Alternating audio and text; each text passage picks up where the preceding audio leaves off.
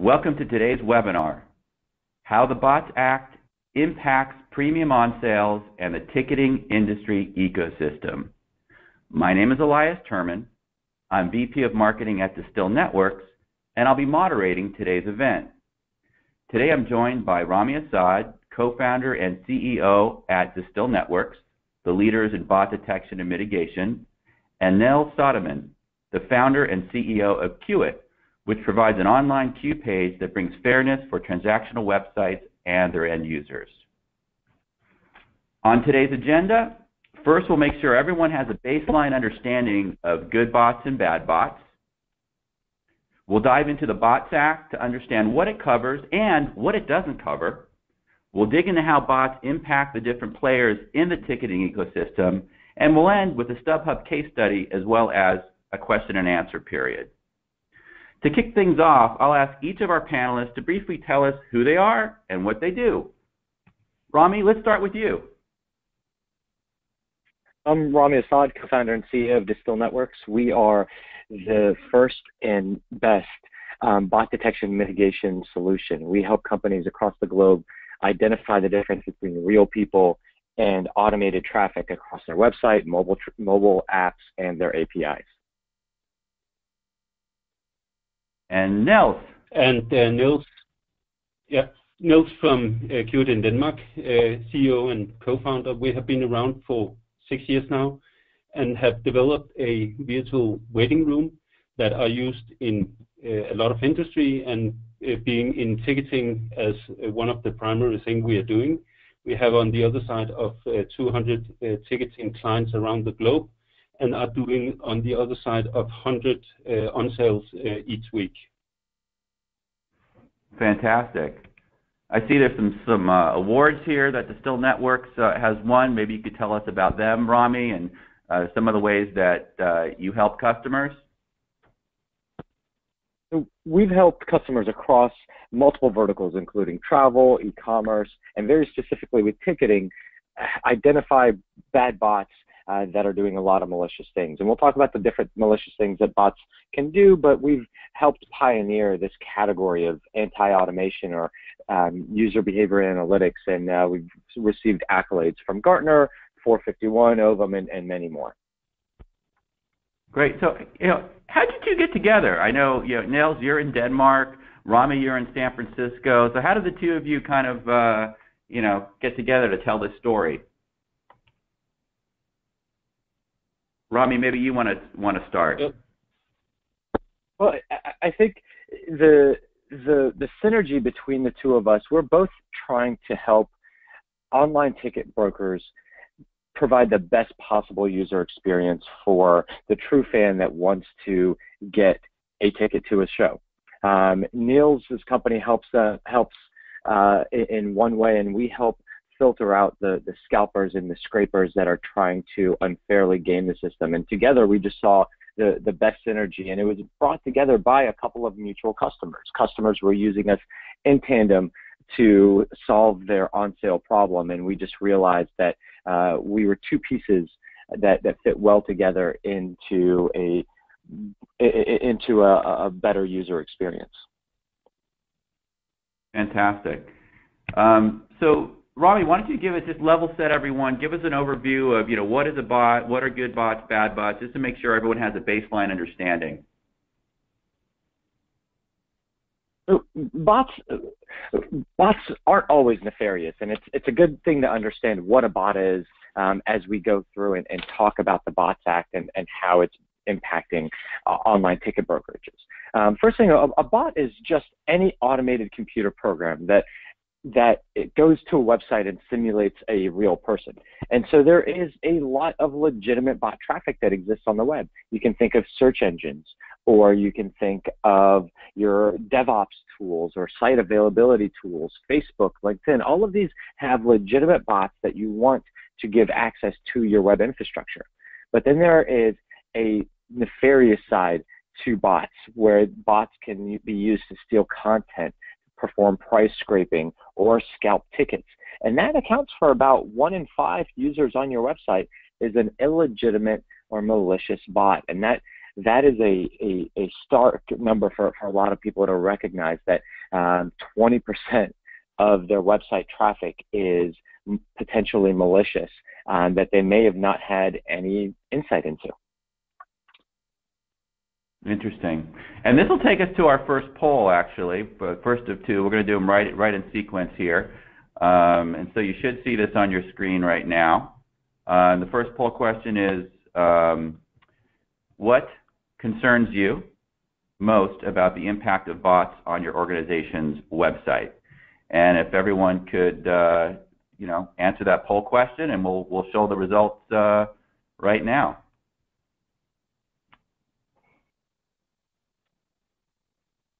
All right, let's share the results. So it looks like uh, the main concerns were uh, website security at 16%, transaction fraud at 53%, lost revenue to scalpers at 38%, and poor customer experience at 50%. Um, any surprises here? Uh, Niels, what, what do you think of these results? Do these uh, kind of jive with what you were thinking? Uh, it, it, pretty much is. Like uh, especially the last one uh, will in uh, primary ticketing drive a lot of unhappy users to your social media, and therefore it is obviously something you, you really want to be in top of. How about you, Rami? Any thoughts on this on this poll? Anything uh, pop out at you? You know, I'm really glad that so many people uh, care about the user experience because at the end of the day, I, this is this is what it's all coming down to. This is the problem that we're trying to solve is that legitimate users want to be able to access the tickets fairly and, at a reasonable price for the artists that they care about. Um, that's that's what the Bots Act is is trying to solve. That's what artists are clamoring for. That's what the end end users are, are, are clamoring for. So if we don't keep that that logic in, in mind as we're we're talking about all the different things that, that we're trying to do technologically, then we're going to lose sight of, of the real objective. So I, I love seeing that that is a top priority on everybody's mind. Great.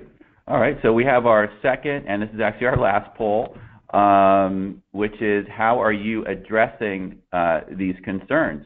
So if everyone could uh, take a moment and uh, fill out uh, those uh, that, that question, and we'll, we'll present the results live to the audience. All right, let's share the results. Okay, looks like about a third of folks are addressing now, another third plan to address it this year, and kind of the rest are either, you know, a little farther out in the future or aren't quite sure. Uh, Rami, what's your take on uh, on some of these on these results? It's great that two thirds of, of people ha- have a plan to tackle this and, and fix it, or are thinking about putting a plan into motion this year. Um, that's that's fantastic. It's it's a, a critical thing to, to be thinking about, and it sounds like the majority of the audience wants to educate themselves more about what they're doing versus what they, they had planned to do. Um, hopefully, we can influence the last third of people to really step up and, and take action of some sort. Uh, the, the I don't know is I'd love to, to convert them to hand raisers that want to uh, take a meaningful step towards improving their user experience. Okay, great. And that that completes our polls, and let's uh, continue on with the presentation here. Um, so let's let's get into the Bots, the Bots Act. Um, Rami, take it away. So uh, the Bots Act came out um, late last year. It was uh, it, it, was based on legislation that came out of New York State. Uh, last in early in 2016, New York State passed state legislation that made it illegal for ticket brokers to buy tickets and resell them using bots. Uh, they, they, essentially they made online ticket scalping illegal. Uh, they made it punishable by a fine and by potential jail time uh, in, in New York State that didn't go far enough. What they found, they were able to prosecute a couple of ticket scalpers, and they made a very big splash in the news. But what they realized soon after was that the ticket scalpers simply had to go across the border, across the state, and, and they became immune to the legislation that New York State had passed.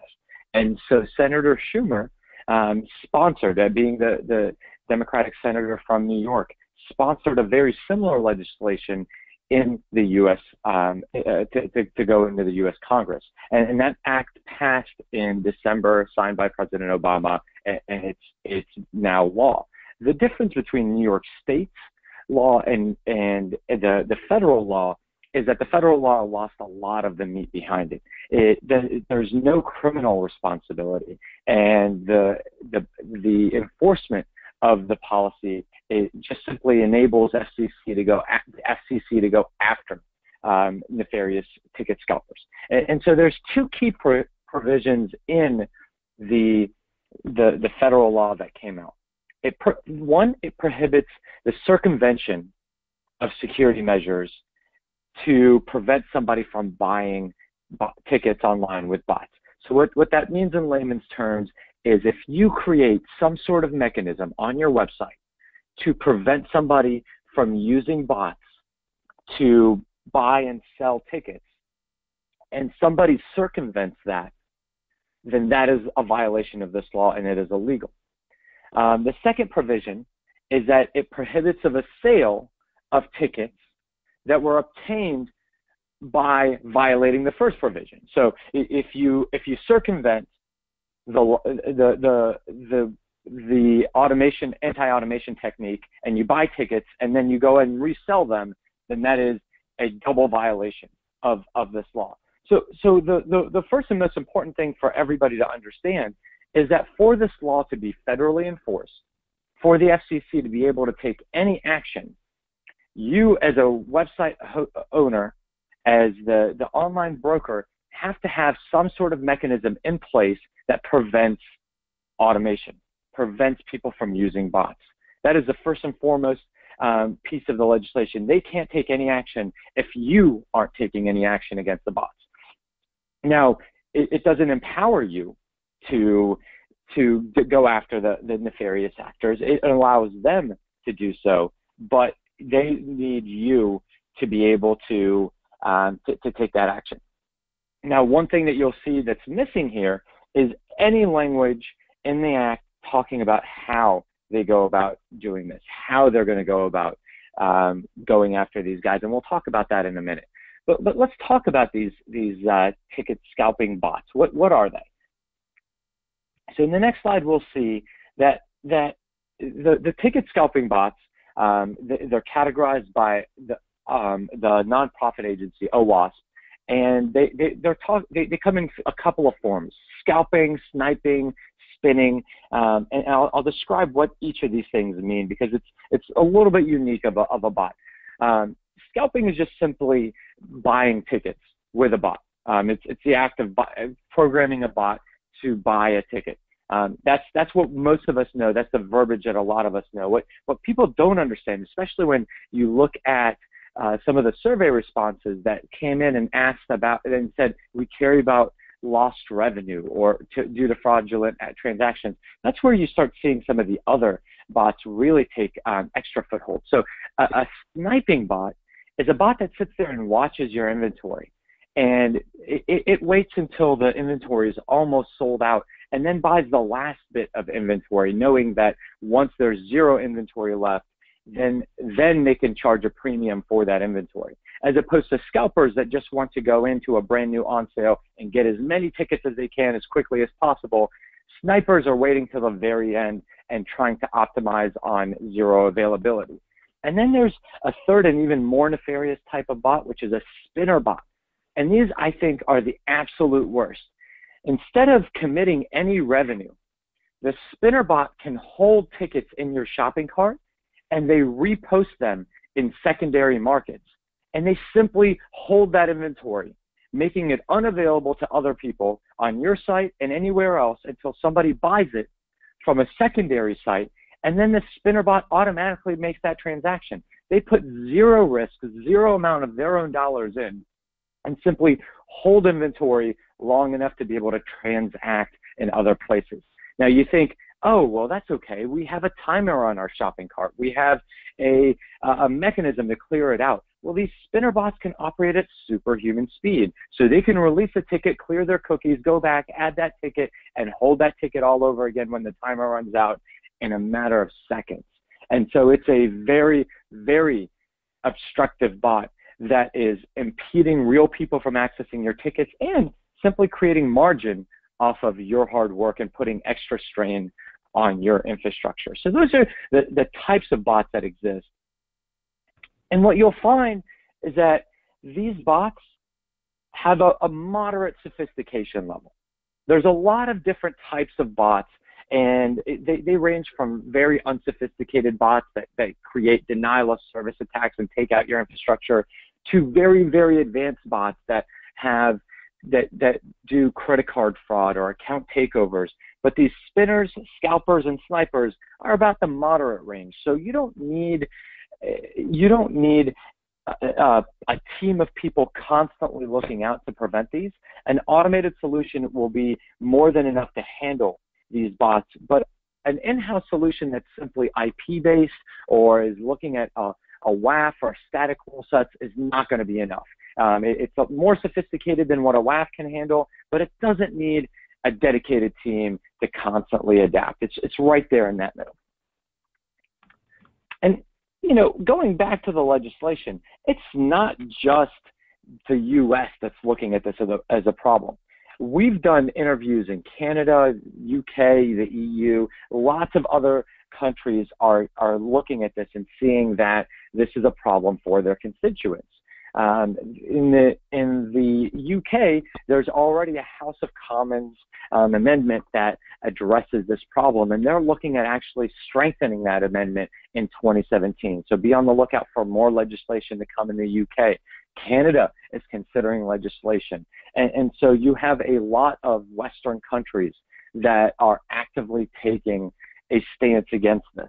Um, the, the other most uh, uh, important part here to remember is all the places that haven't taken legislation um, to act on it. South America, uh, Asia, and, and in those countries, act, nefarious actors that are that are outside of the reach of the legislation that exists are immune to this. So uh, it, this isn't a problem that can be solved just with legislation. And this is, I think, the most important point when we think back to how do we make sure that we're solving the problem for the end user? What is the problem that we want to solve? We want to make sure that real users are able to buy tickets for their artists, that they're happy with the, your site and the interaction.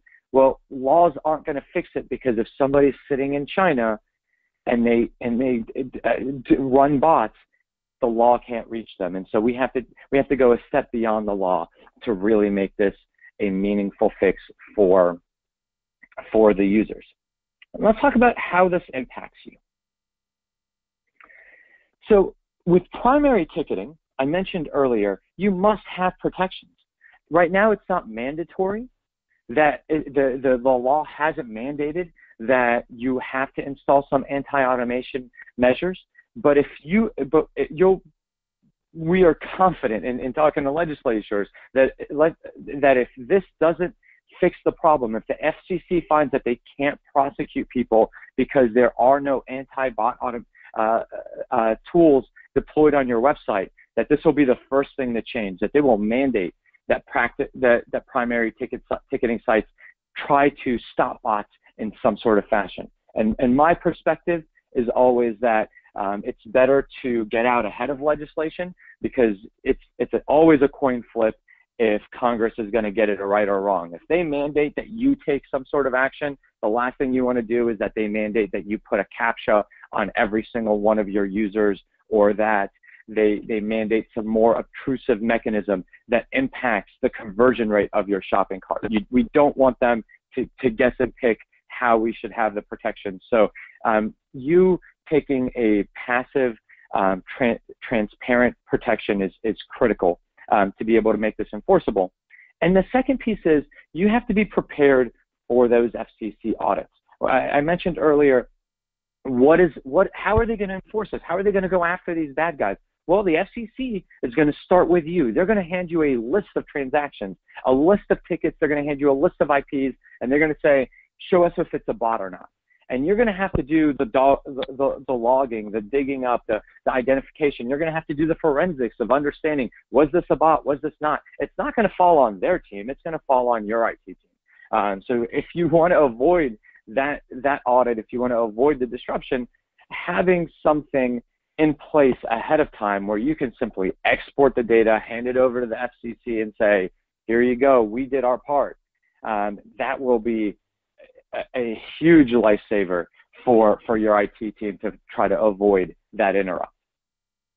Now, it, some people are thinking, well, you know what, I'm not a primary ticketing site, I'm a secondary ticketing site. What is, it, it doesn't really mean anything to me. Well, that, that's not true. You, the, the secondary ticketing sites fall into the same legislation as well. They didn't distinguish between primary on sales and secondaries. Um, so they care just as much about secondary ticketing as they do about primary. Um, not to mention, you're going to have a little extra hurdle on the FCC audits because what's going to happen is you're going to actually they're going to come to you with the tickets and they want to match up the the, your, the the secondary sales to the primary on sale. So making sure that you're speaking the same language as the primary on sale is going to be really helpful in catching anybody that has that is listing their sites in secondary that might have purchased them illegally through some sort of bot in, in the primary ticketing. So it, it, I, we think that the FTC uh, audits are going to be even more burdensome on the secondary ticketing sites. And now the final piece, and I think probably one of the most important people that this impacts are the venues, the artists, etc. And what you're going to see is, as most venues, a lot of them feel helpless to, to help. You're now seeing more and more artists demanding that you have some sort of measure to protect those those on sales, uh, whether it's uh, uh, Hamilton or the Harry Potter play, um, you, the, all the big new on sales, um, or if you have Beyonce coming to town or any any major on sale, the venue is now being tasked with mandating that that they have some sort of protection in place, and and and so can you enforce that? Can you comply? It may not be up to you. It may be up to your technology partner, but that's where you have to be vocal about what technology partner you pick and making sure that they have the technologies in place, thinking out ahead uh, to, to make sure that you're going to be ready to handle the, the next big on sale and, and the demand from those those on sale um, artists that that you have some sort of measurement in place. Um, at the end of the day, the, the Bots Act was actually pushed forward by these artists. A, a, almost a co-sponsor of the Bots Act was Lin Manuel because he was so tired of the scalpers making money off of the backs of his play and, and, and not allowing legitimate people to buy the tickets. The, the, it was estimated that scalpers made tens of millions of dollars off of Hamilton. That's tens of millions of dollars that didn't go to the cast and crew, that didn't go to the uh, to Lin Manuel, and that the end user had to pay extra to be able to afford and, and go see the play. And that's really what this is all about. Now, Niels, I think what, what's interesting here is, is not just what, what it does cover, but maybe what's missing in the BOTS Act. Yeah. So uh, One of the things that are extremely important to remember here is that the BOTS Act uh, that are enforced in in U.S. does not address uh, all the things around scalping and the money disappearing from the table. One of the things that are very clear is that it's not illegal to buy and resell the tickets. And There is also a lot of historical relationships between the primary ticketing business and the secondary market where uh, some part of the inventory is actually moved uh, from primary to secondary without uh, touching uh, end uh, users and fans. And That is, of course, uh, very important for the entire discussion to understand that this is not purely about technology, but part of the money disappearing from the table is actually out of the reach of the fans who wanna come to the artist or the concert or whatever is going on. Uh, if you can uh, go to the next slide, uh, because here we have a, a, very good explanation coming from a guy who was one of the notorious uh, bad uh, scalper guys running a operation called WiseGuy. This uh, Ken Lowson from WiseGuy have actually turned into being a good guy now after have been convicted are running a, a, company now trying to basically help the industry with all the knowledge he have about what they uh, were able to pull off uh, back in the uh, good and happy days. They uh, basically uh, emptied a lot of the chutes on sales using a combination of, of technology and knowledge about the different platforms around. Uh, if you click on uh, the link afterwards, you could see a very uh, comprehensive uh, storytelling about uh, what they did and, and how smart they were, and also uh, how many of the tickets they were actually able to pull away from some of the very big on sale with international artists. Yeah, go uh, next uh, slide here, because there, there is a little bit of explanation on uh, how they actually did it.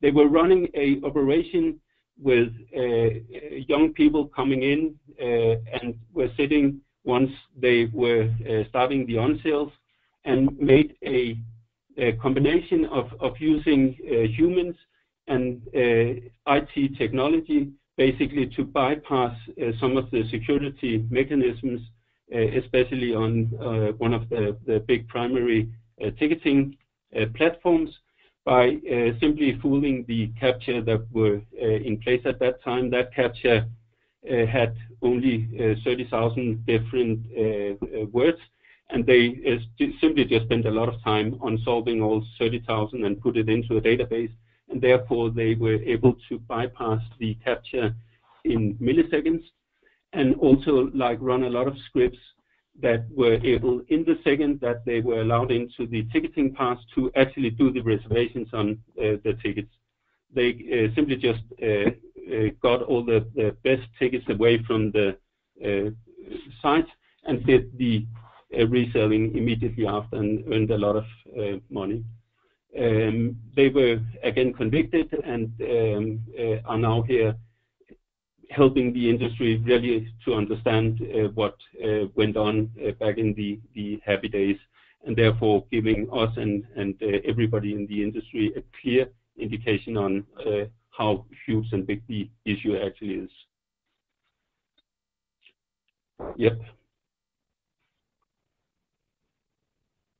Yeah, just uh, go to the next one. And there, is, of, uh, of course, still a, lot of uh, these uh, uh, platforms uh, up running now where what Rami explained with the, especially the spinners, where the tickets go directly from the primary ticketing sites and, into where the reselling can begin.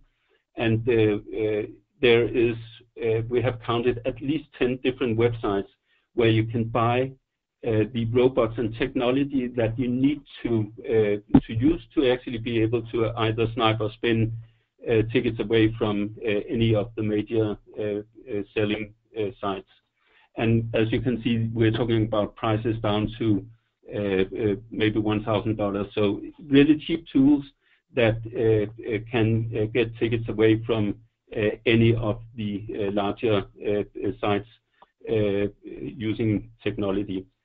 And I think, uh, one, one Neil, if I could jump uh, in. Sorry? I was saying, I, I, think that's a really great point to highlight there um, that, that, you're talking about is that this isn't an expensive endeavor for the bad guys. The bad guys can do it for a, as little as a thousand dollars, and there's pre-built tools for your directly made for your site. The, they're, they're, they're, it, it's practically open source solutions to defeat you. And, and one of the things that I challenge people everybody on this call, eh, look up your specific venue or your specific um, technology broker and type in technology broker space bot or spinner bot. And I'm willing to bet that you'll find if you go to ticketbots.net or if you go to one of these other sites, you're going to find a piece of technology that's built specifically to defeat you. And, and, and that should be concerning to you. If somebody's already ahead of you and, and can automate the the process, then whatever you're doing in house may not be working, and it's worth investigating a little bit deeper. Yeah.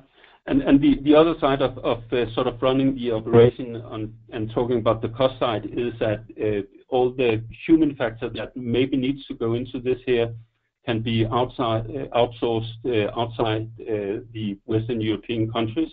and running, for example, a operation where you are having like 100 guys sitting in, in China uh, for those two hours where, where you actually have the big on sale is really a small cost compared to the potential upside of getting, uh, let's say, just uh, 1,000 tickets away from a primary ticketing sale.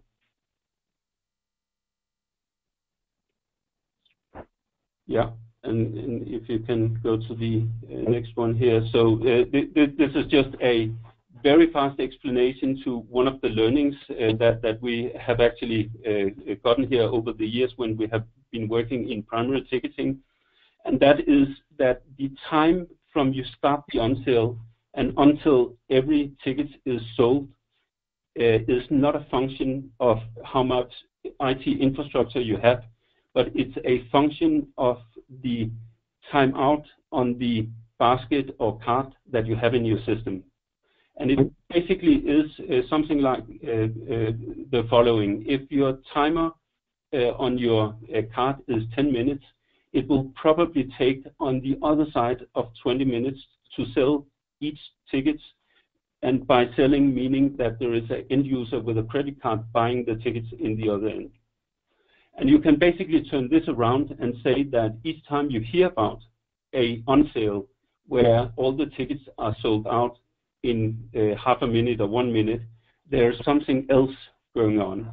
And that can be anything from uh, tickets being uh, removed from the inventory. It can be that they are actually sniped up by robots. So just keep this in mind here that the um, minimum time to sell all, all tickets when it's end users is a function of the card timeout, and it's probably on the other side of 20 minutes. And we have not seen anybody uh, around our customer on the global scale who uh, uh, sort of contradict uh, this uh, timeline. And if you go into the link uh, later, you will see a lot of additional detail on, on all this here.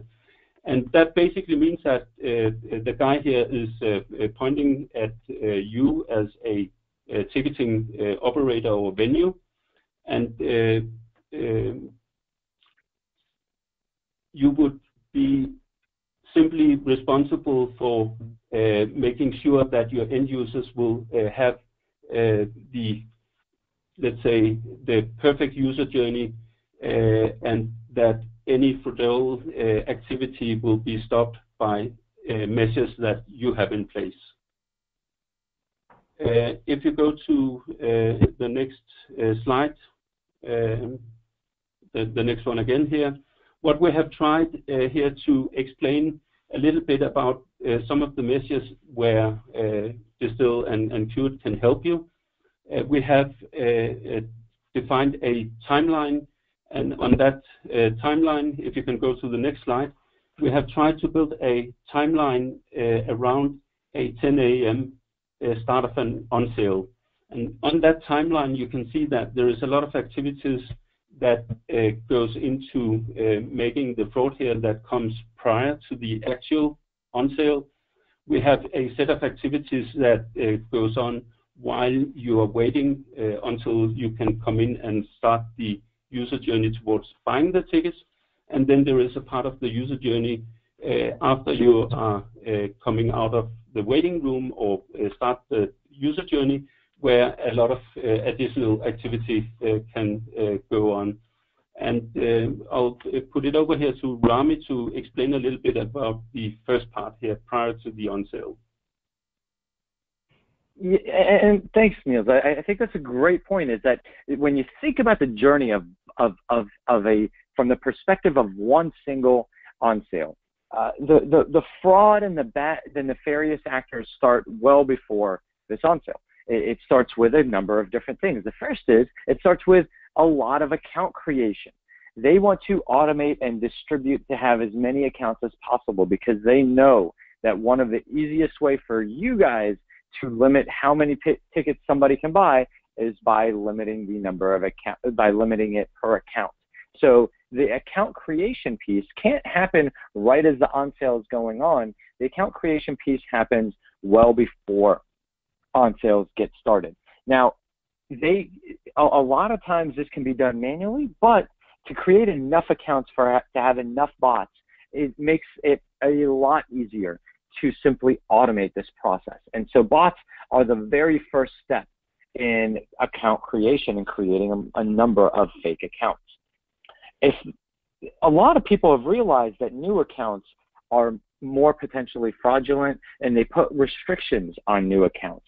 And so the bad guys, to get around this, you'll find take an extra step of doing a lot of account takeovers instead of worrying about creating new accounts. If they can leverage existing in good standing accounts, then they have a leg up in this game of fraud.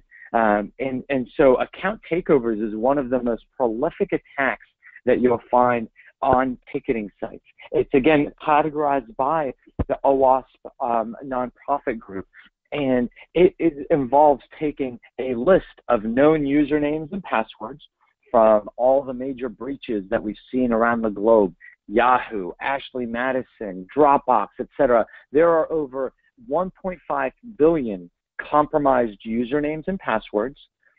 The bad guys take that list and upload it into bots and run that list against your site. And what you'll find is that so many people use the same username and password everywhere they go that up to 1 to 3% of the stolen credentials still will work on your website.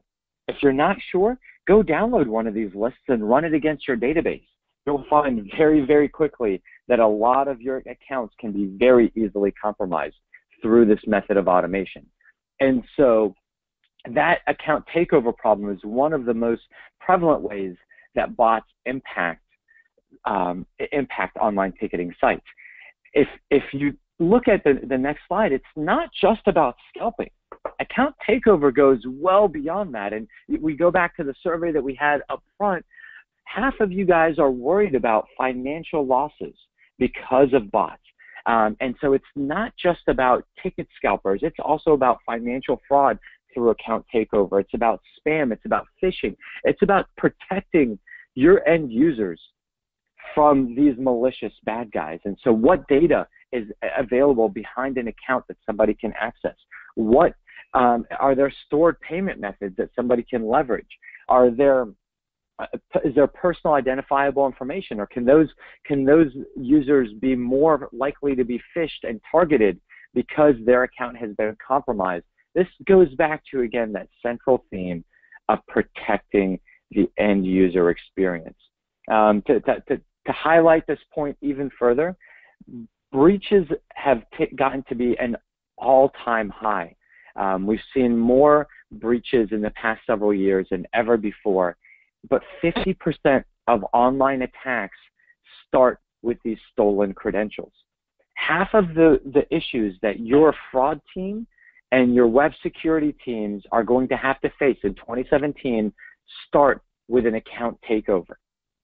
And that's that's uh, uh, uh, according to uh, the Verizon data breach report and a number of other um, security resources. So when you think about it that way, protecting against account takeover will reduce the the exposure to security and fraud risks by 50%, and that's that's a huge huge uh, uh, number there. Now I mentioned earlier scalper bots were moderately advanced. Well, if you want to defend yourself effectively against the fraudsters that take over, that do account takeovers, the ones that are using those accounts to commit fraud, you got to step up your anti-automation game. These are very, very sophisticated bots that are running in real human browsers that can hold cookies, that can interact with your site. They can move a mouse and they can fake keyboard clicks. They can do everything a real user can do. And so the sophistication level of these technologies is much, much higher. So that's what happens leading up to the day of an on sale. Eh, eh, you know, then 10 o'clock hits, you have a lot of users coming in. Niels, what, how does Queue-it come into this, this timeline? Yeah, so uh, basically uh, leading up to the uh, start of the on sale, and let's say it's a 10 a.m. start, we will normally start to take users into a system called a pre-queue, and we will do that, for example, half an hour prior to the start of the sale. And uh, this is basically to uh, defend against two of the vectors you uh, talked about here. So you have the vector on, on trying to, to snap the tickets away where you, as a single entity or person, are simulating many different users, for example, with the accounts that you have taken over. And the other way that you can actually uh, use as a vector here is the speed. So you are getting into where you can start the reservation of the ticket prior to uh, anybody else. And just go to the next slide, uh, because on the volume uh, space or game here, we have implemented a couple of things where we are able to listen to the traffic coming from single devices or single um, IP addresses, and we have a mechanism that are able to block very simple Uh, uh, volume-based uh, tools coming into our system. It's relatively rudimentary, but it will take the uh, very simple tools away. And On some of or most of the major on sale where we're talking about international artists, maybe half of the traffic is actually coming from people trying to come to our system using a simple spinner robot, typically one of the bots that you can uh, buy for cheap uh, money. So volume vector, we have uh, some tools uh, that are able to defend against uh, that part of the game. And then uh, the other and maybe more interesting thing here is on the speed vector. So if you go to the next slide, we basically have a, and next again here, we basically have a tool that prevents or uh, at least make it very difficult to get a advantage by being fast. And that tool is a switch between what we call a pre-queue and then into a live queue. And what we're doing is basically to take everybody who comes into the pre-queue and assign a queue identifier to them. And then we'll count down towards the 10 a.m. And what we will do with everybody who comes into that time frame is to give them a random position in line. So basically, uh, uh, taking it in a way where there is no difference between being uh, there one second or one millisecond before 10 a.m. or half an hour before the start of the on sale. Everybody will get a random number and uh, therefore getting uh, sort of what we believe is a fair chance of getting the ticket. And this here basically prevents uh, the way of getting a advantage by using one of the uh, very fast robot tools because no matter how fast that tool is, you're still under the randomization and will get a random position in line together with uh, everybody else. And combining the, the speed with the volume protection, we will take a fair amount of the simple robots away. And, and basically what we believe, and it's probably not 100% sure, but basically some of the, or most of the tools that you can buy for cheap money on the internet. Where it really gets uh, difficult uh, to, to do the uh, prevention here is that what we are seeing right now is instead of operating simple tools from single computers, uh, the uh, bad guys here are spinning up like thousands of different computers and are running at a very low speed, like uh, maybe only running at a rate that per server or per IP address is only carrying like maybe five or, or 10 users. And therefore, at least from uh, our tools, it's simply just looking uh, as a couple of, of uh, users sitting in an office building sharing a IP address. If you go yeah. Uh, to next slide, so you yeah, sorry. Uh, I was going to say, I, I think it, it's, it's important again to reinforce this idea of what it means for the end user and, and how the, the multi-tiered solution helps prevent all sorts of different types of fraud, right? So we're talking about preventing the creation of multiple accounts. We're talking about preventing the spinner bots, preventing the volumetric um, attacks on your site and uh, uh, in in the, the exact moments before an on sale. That's going to make sure that every person that goes into your shopping cart, into your web application, is able to actually get the response times that they expect. It's going to make sure that your application doesn't jump, fall to its knees. And it's actually, it goes beyond just bots. This is about the integrity of your application and making sure that real people don't flood it and bring your site down. Um, so this, this again goes back to the central piece of a good user experience and an on sale, making sure that it, you can you can funnel out people into your shopping cart in a systematic approach that will not crash your application. And all as you're doing that, you funnel away the malicious bots. You pull away the, the, the really aggressive scripts that might be poorly written and might take down your application. Um, so this is this is a great way of of making of, of shoring up the, the infrastructure. And and more so, you know, to Neil, your your your original point about you know the the the price incentive. Some people say well okay that's great you can pull away bots. What if somebody goes and hires real people? Well this mechanism if you layer these approaches together you can actually effectively defeat that because it doesn't matter if they have they hire a hundred people or even a thousand people to buy real tickets if you put everybody into a queue all at the same time you're going to have tens, if not hundreds of thousands of legitimate users and maybe a thousand of these outsourced paid scalpers. And so that's 1% of that pool ends up going to scalpers. Now, if you do nothing, then they write a bot. And even if you put them into a queue, they can write a bot to have a thousand, a hundred thousand different accounts.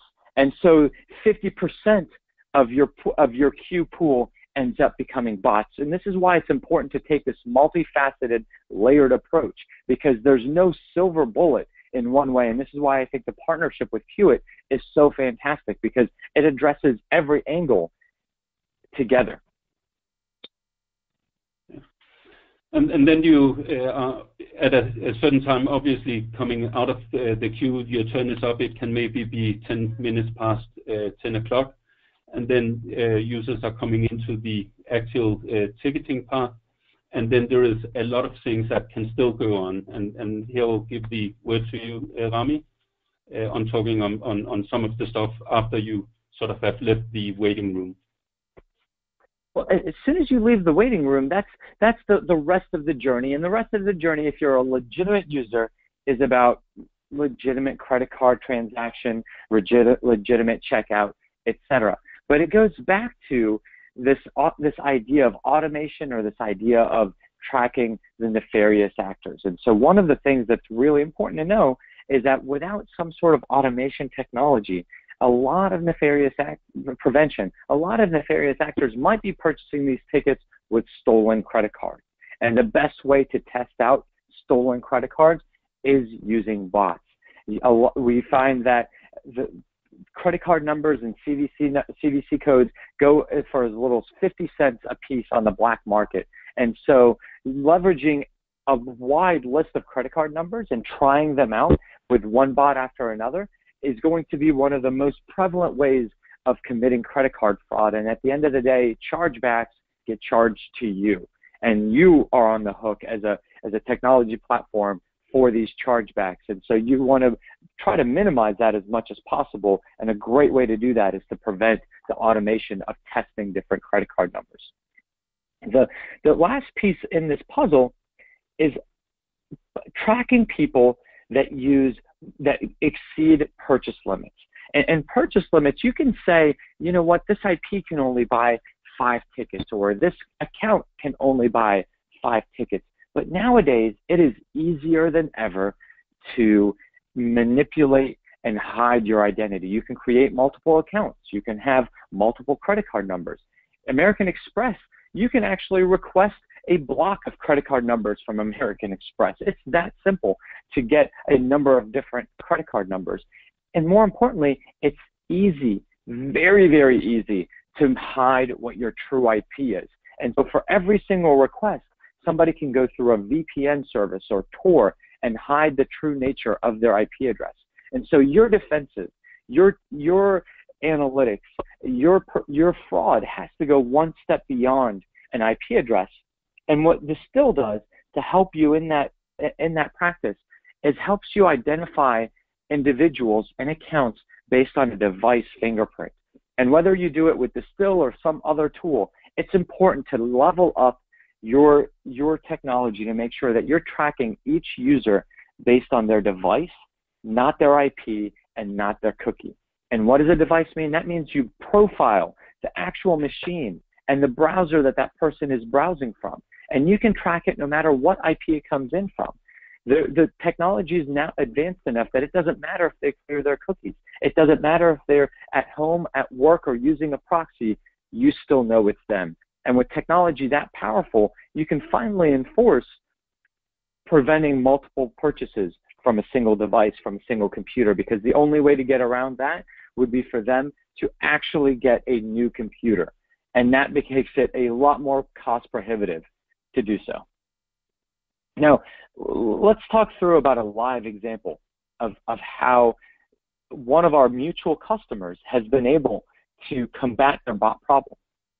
Um, StubHub is not only one of the best known secondary ticketing sites in the world, but they're actually now in, involved in a lot of primary ticketing sales as well. Um, they they came to us because they started with an account takeover problem, and they found that their accounts were being compromised, that credentials were being stuffed into these accounts, and with the compromised accounts, they saw an influx of fraud. And so, using Distil, we were able to eliminate the account takeover concerns that they had and significantly reduce the number of fraudulent new accounts created by to, down to single digits, uh, single uh, percentage points from from where it was before. We eliminated the entire bit of automation of fraudulent account creation, and so that was step one in their journey of preventing the the malicious bots. The next the next thing that they were having an issue with was ticket scraping. They found that a lot of new competitors were coming up scraping their ticket prices and trying to sell tickets for one dollar less than them, one dollar eh, or take up their inventory, spin their inventory, and resell it for a higher amount. And what that did is it put an unfair load on their infrastructure, making it a bad user experience for their users. And at the end of the day, it stole users away from them the, their brand was tarnished. Their their user base, they, they lost loyalty in their user base because of the the, the competitive um, pressures there. And so by eliminating the the scalpers and the scrapers' ability to do that, they were able to retain their users and and build that loyalty once again and improve the user experience. And the last bit that was really interesting is that bots were throwing off their analytics.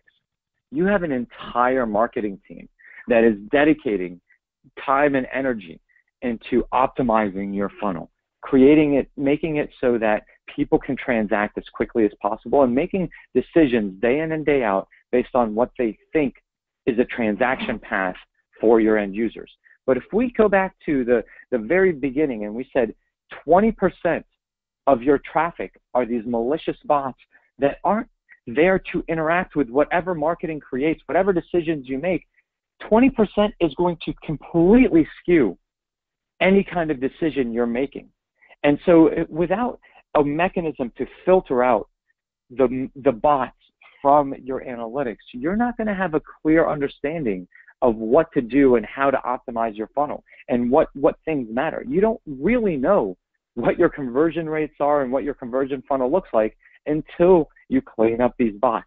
And that's another piece that made it even more important for them to clean out their bots.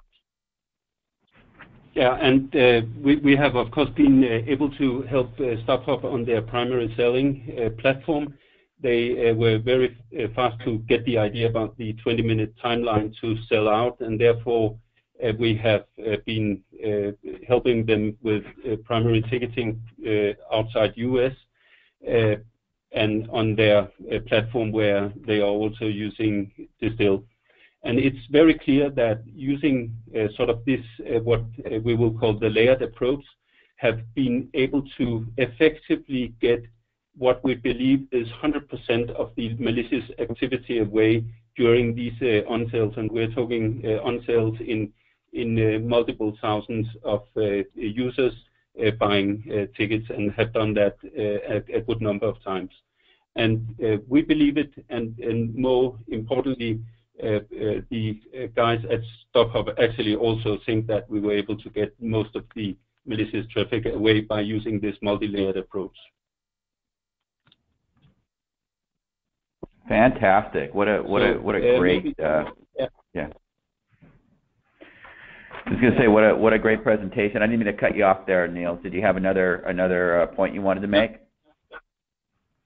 No, just go ahead here with the uh, final wrap up. Okay, great. Yeah, that was a fantastic presentation. Thank you guys so much. Um, yeah, we have a number of questions coming in through the GoToWebinar console, and uh, I encourage everyone to ask their questions now uh, as I'll pose them uh, to Rami and Niels live. And we have a few questions. So the, the first question is, how secure are the systems and how much do you actually catch? Uh, Rami, do you want to take that one?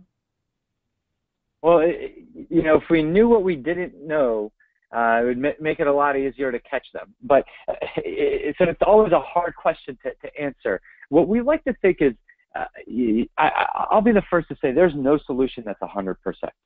Um, but but we have at Distil over 100 engineers, over 200 employees that are dedicated to solving this problem. And so the, the, the, the, place in which we can get and help customers achieve protection is going to be much further than where they can achieve on their own. Uh, more importantly, we have the widest base of customers in the bot market. And what that allows us to do is not just for StubHub or ASX or, or hundreds of other customers, we can aggregate this data together. So when we catch one one malicious actor for one customer, we share that knowledge across our entire customer base. So we we see a wider viewpoint in the world than than everybody else does, and that helps that helps us be more effective in, in catching it. To, to answer the, the question simply, though, I, I like to say that we're about 95% efficient. But there's going to be that last 5% that's always going to be hard to catch. And we actually offer professional services as an outsourced security operations team that can help you close that last 5% gap. Um, but, but our automated platform can get you 90 to 95% of the way there. Uh, thanks, Rami. I've got a question here. That, okay, go ahead, Neil. Yep.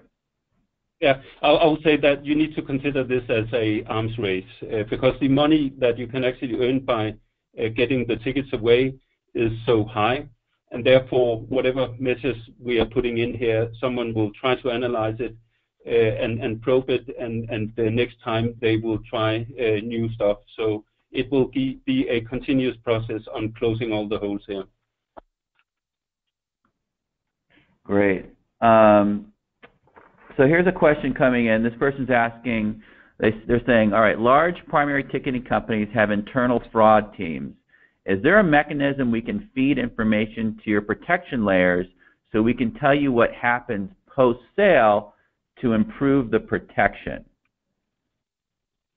I don't know which one you want to take that. Yeah, yeah okay. You know, I, I, I think interaction between what we catch and what you catch is critical. We, we work with our customers to have a feedback loop to make sure that we understand the things that we may have missed and, and get out ahead of it um, for the next time. We also give the customer automated mechanisms in which they can interact with their portal and put in fraudulent fingerprints, block fraudulent devices, um, and, and flag the, the, the malicious behavior so that we can prevent it ahead of time in the future without them having to catch it all over again. So the, the, the back and forth interaction, I think, is, is a great part of, of uh, a team that, that has a company that does have a, a fraud team already. Great.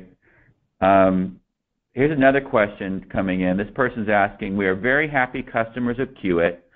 Um, how would Distil be implemented with Queue-it? Um, does it require us to divert our website traffic through third-party infrastructure?